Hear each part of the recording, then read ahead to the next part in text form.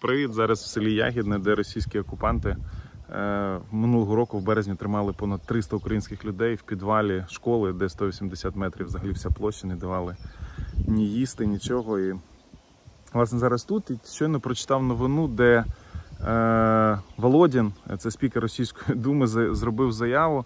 Причому достатньо небезпечно з е, пропагандистської точки зору. Він заявив, що Польща винна радянській владі за деокупацію від фашистської Німеччини та побудову перших е, промислових об'єктів 750 мільярдів 750 мільярдів е, доларів. І власне він говорить про те, що Польща повинна вернути ці гроші. Це майже мільярд доларів, це майже трильйон доларів, 750 мільярдів. І власне він говорить про те, що поляки, яким радянський союз відбудував країну, власне, вони повинні це віддати. Насправді, з точки зору пропаганди, це працює таким чином, як дискредитація країни і підготовка потенційного наступу. І це якраз аналогічні ж історії були з Україною, що Україна забула свою історичну пам'ять, що Україна це російська територія, що українці всі фашисти. Ну от приблизно таку ж історію вони почали зараз проти Польщі цю кампанію. Ну і власне говорять, що частину земель, які здобула Польща після Другої світової війни, потрібно зараз повернути, тому що це ж дякуючи силам радянського союзу, все власне і було передано.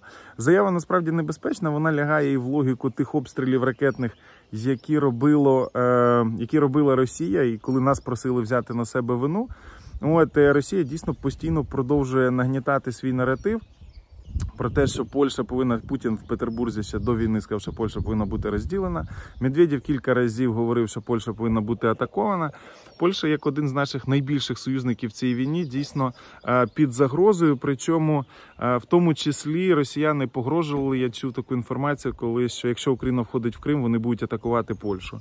От і Польща отримує сьогодні дуже багато зброї і розуміє для чого. Вони зараз закупають зброю в південній Кореї, штати їх переозброюють, але це потрібно для того, щоб протистояти Росії, тому що ніхто не розуміє, як далі буде продовжуватись війна, і вона може дійсно вийти за межі України, і вона може перейти і в тому числі на територію НАТО. Тому для НАТО треба вести зараз більш відповідальну політику, не говорити про те, що вони не готові брати Україну, навпаки, готуватися брати Україну і разом протистояти агресору до повного його знищення. Оце якраз таки відповідь, що було зроблено з фашистською Німеччиною. От, тому що такі заяви Володіна це не просто так, і хтось до цього може відноситись достатньо легко, але це ж насправді підготовка, дискредитація, інформаційна пропагандистська дискредитація ворога перед можливим військовим нападом. І тут треба достатньо серйозно. До цього віднестися. Е, Друге, це може бути відповідь на передачу Україні F-16. Ви бачили сьогодні, що Байден зустрічався з Зеленським е, на саміті G7. Ця зустріч пройшла дуже вдало. Байден якраз таки попросив нас публічно пообіцяти, що ми не будемо стріляти по території Росії. Ну і зрозуміло, що вже все, все вирішено по F-16, все вирішено, е, що українцям будуть передавати. І я вам в попередньому відео говорив і дедлайни, коли і локацію, де це буде зроблено. Для росіян це дуже сильний удар, тому що вони не зможуть е, протистояти нам в небі. Ми зараз е, під час контрнаступу будемо мати перевагу в танках. Якщо ми отримаємо ще й перевагу в небі, це взагалі буде просто ідеальна картинка для нас по звільненню наших територій і людей. Ось цього якраз таки е, окупанти й дуже сильно бояться. Друзі, це все. Е, По Бахмуту ситуація дуже складна, критична, але ми не виходили. Все рівно є території, які ми тримаємо, намагаємося протистояти і боротися.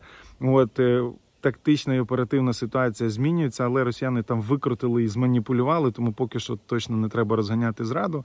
От е, тому що. Ми все рівно там знаходимося. Я говорив з нашими військовими, хоча повторюю, ситуація дуже складна. Е, в мене до вас питання по Польщі. Е, як повинна реагувати Польща, як повинна реагувати Німеччина, НАТО і Сполучені Штати на ось такі заяви Володіна? Напишіть, будь ласка, в коментарях, поставте лайк і дзвіночок до цього відео. Ну і найголовніше, підпишіться, будь ласка, на канал.